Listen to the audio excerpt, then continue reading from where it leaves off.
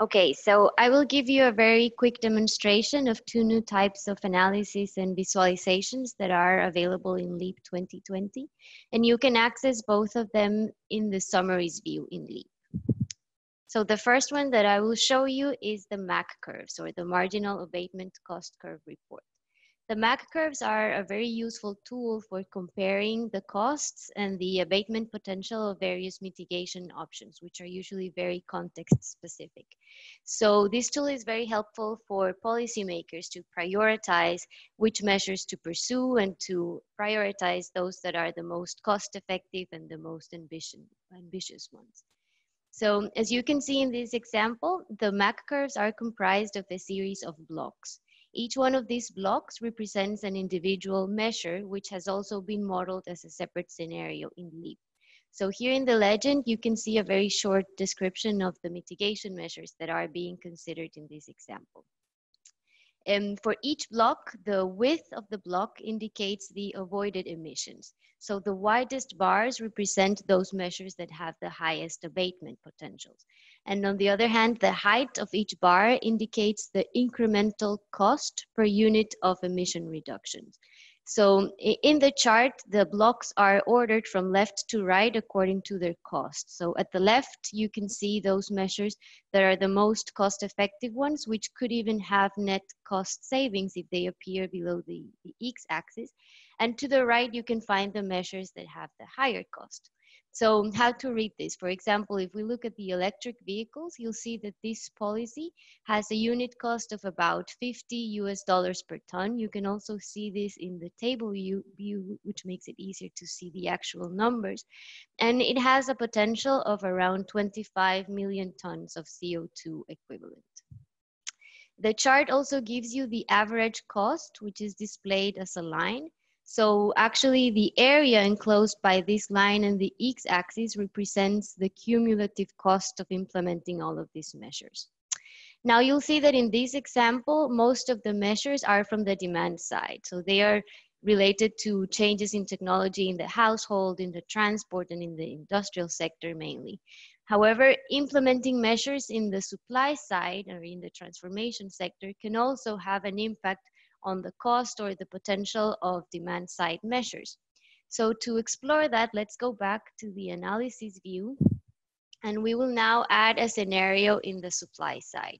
So in the list of scenarios, you'll see that I have already added a scenario here for the power sector, which considers a shift towards a more renewable power generation matrix and also a reduction in the transmission and distribution losses.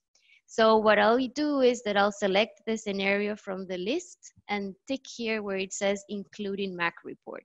And now we will go back and see how that changed the MAC curve. But before going back, I'll just mention that because of the way in which LEAP generates the MAC curves, it is only possible to include individual scenarios. So that means that this mitigation scenario, for example, which inherits all of these individual measures, cannot be included as such in the MAC curve. So even if you tick here, you will get an error message when you go back to the summaries view. So now let's go back to the summaries view. And every time that you change something in the data set, we need to manually refresh the MAC curve. And this is because LEAP generates these MAC curves using a retrospective approach.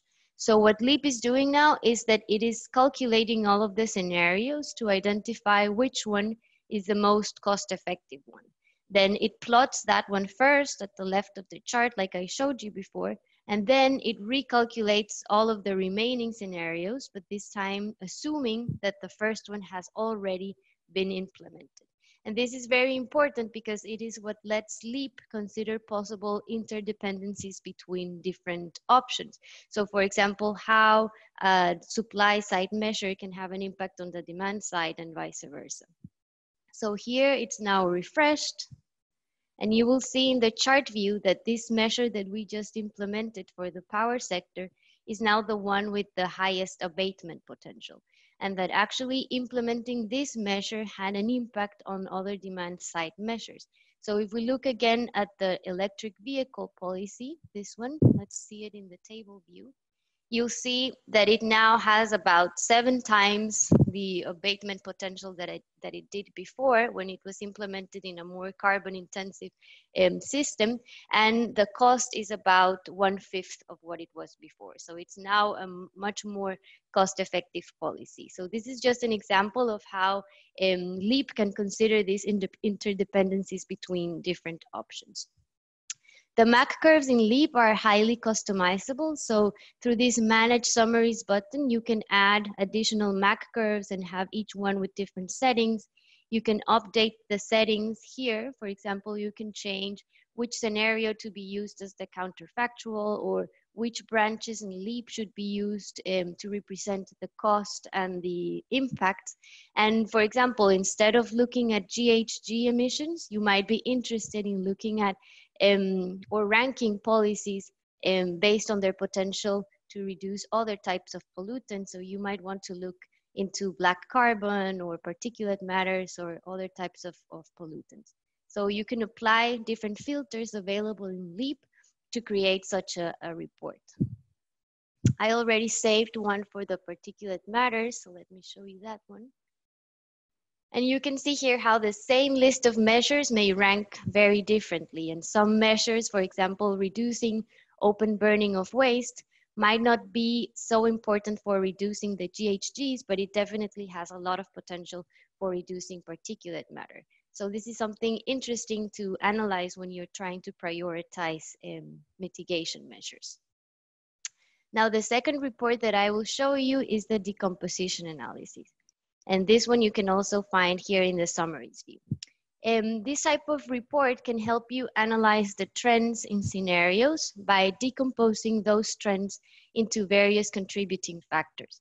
Um, and LEAP does that based on the IPAT and the Kaya identity methodologies. You can learn more about those methodologies here in the, in the uh, help system within LEAP. But in general, the default report that is included in LEAP and breaks down the trend in the GHG emissions, which is the indicator shown here in the y-axis.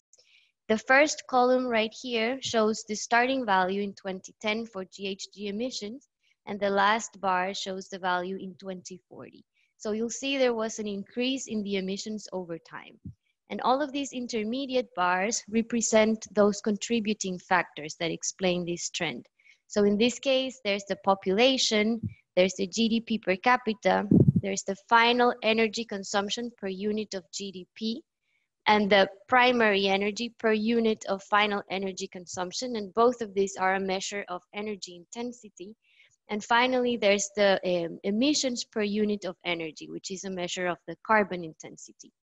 The colors in this chart indicate whether each of these uh, factors contribute to an increase or to a decrease in the indicator. So here in the baseline, you'll see how there was an increase in the population in the GDP per capita, which is a measure of um, wealth, and in the carbon intensity. But there was a decrease in the energy intensity.